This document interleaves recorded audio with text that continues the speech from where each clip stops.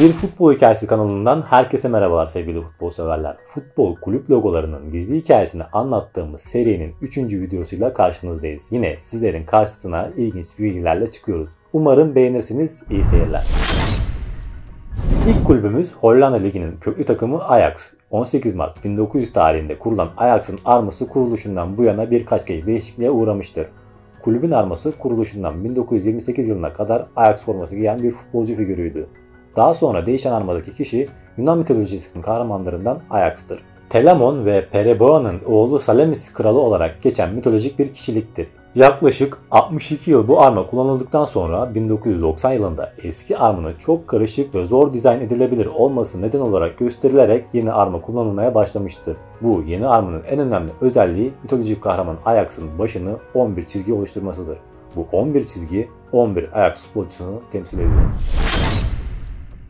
Sıradaki durağımız Yunanistan ekiplerinden Olympiakos. 1925'te kurulan kulübün tam adını kurucular Olympiakos Club of Fans of Preos şeklinde oluşturmuşlardır. Olimpiyatlardan esinlenerek kullanılan ismin arması da bundan yola çıkılarak oluşturulmuştur. Armadaki kafa silüeti olimpiyat ruhunun tutku, atletik, güç, soyluluk, asalet, gurur, zafer gibi özelliklerini bünyesinde barındıran genç bir olimpiyat sporcusudur. Başındaki sembol ise yine Yunan mitolojisinde seçkinlik, yücelik gibi anlamlar taşıyan defne yapraklarının oluşturduğu bir taçtır.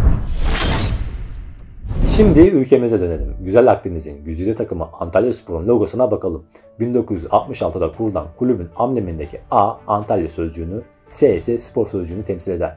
A ve S harflerin ortasında şehrin Anadolu Selçuklu Devleti döneminden kalan Yivli minare kırmızı çizgilerle çizimli yer alır. Yivli minarenin üzerindeki 3 beyaz bantsa Antalya Spor'u oluşturan ilk Işık Spor, Ferrokurom Spor, Yeni Kapus Spor takımlarını temsil eder.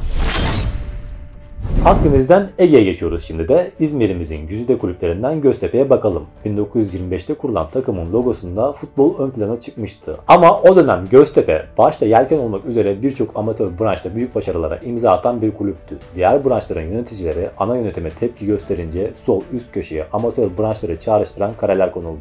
Ortaya ise lokomotif olan futbol topu konduğunda yıl 1934'tü.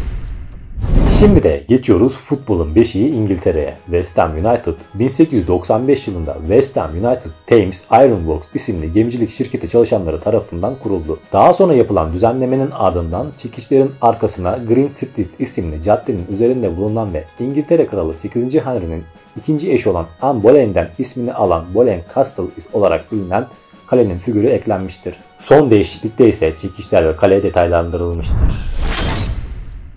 Brezilya'ya geçmeden olmaz dedik. Sıradaki ve son kulübümüz Corinthians. 1 Eylül 1910 tarihinde Brezilya'nın Sao Paulo şehrinde kuruldu. Birkaç kez logo değişikliğine giden kulüp 1940'tan bu yana aynı hamleni kullanıyor. Arma'nın içindeki bayrak hem kulüp rengini hem de Sao Paulo şehrinin bayrağını simgeliyor. Kürek ve gemici çapası ise kürek sporunu işaret ediyor. Brezilya'da futboldan sonra kulüpler en çok kürek alanında faaliyet gösteriyor.